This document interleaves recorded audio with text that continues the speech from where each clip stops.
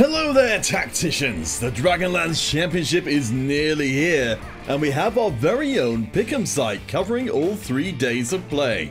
To take part, head across to riot.com slash tftworlds, click the sign in button, and log in with your Riot account then jump into the Pick'em section and lock in your choices. First up is the Crystal Ball, where you have to choose specifically who is going to be the overall winner of the Dragonlands Championship. If you're not sure who to pick because Mortdog is not listed, the second, slightly easier prediction is rather than picking an individual person, to pick which particular region that our champion will be from.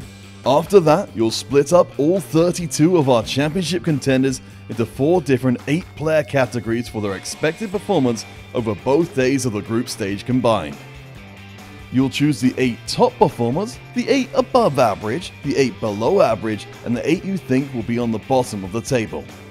Now, one more to go. The final part of Pick'em is only for the grand final and will be open from shortly after day 2's group stage ends until about an hour before our day 3 final begins.